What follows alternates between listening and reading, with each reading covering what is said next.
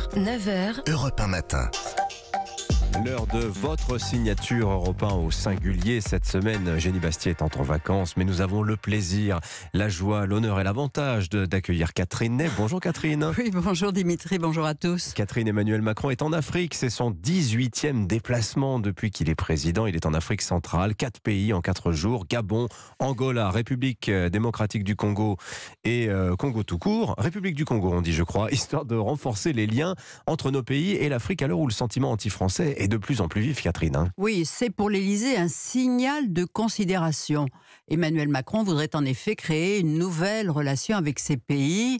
Mais tout de même, vous voyez, quatre capitales en quatre jours, eh bien, ses homologues africains ne goûtent pas ces visites éclairs parce qu'ils la prennent pour de la désinvolture. En tout cas, hier au Gabon, le président participait au sommet co-organisé avec le président Ali Bongo consacré à la préservation des forêts tropicales, lequel président Bongo a d'ailleurs mis fin au pillage chinois. Emmanuel euh, Macron le répète, la France-Afrique est révolue. C'est son mantra depuis sept ans. Sauf qu'au Gabon, il y a toujours 350 militaires français.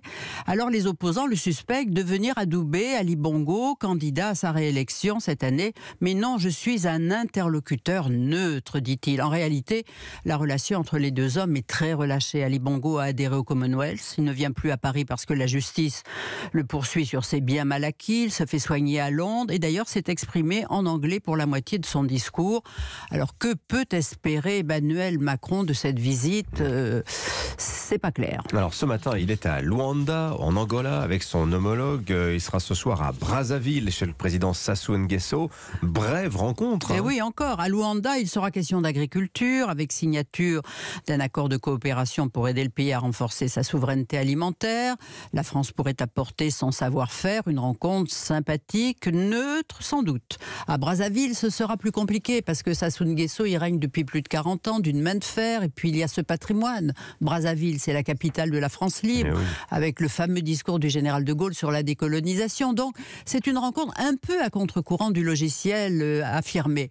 Mais pouvait-il éviter Brazzaville alors qu'il va se rendre à côté, dans l'immense Congo-Kinshasa, géant millier, euh, 80 millions d'habitants, 350 dialectes, mais là, le français y est un vecteur d'unité. C'est une richesse pour notre pays. Alors que va-t-il sortir de cette rencontre Neutre, vraiment? Emmanuel Macron ne vient pas faire la leçon. En tout cas, pas, en juillet, comme au Cameroun ou au Bénin, où il morigénait les Africains qui refusaient de condamner Moscou à l'ONU.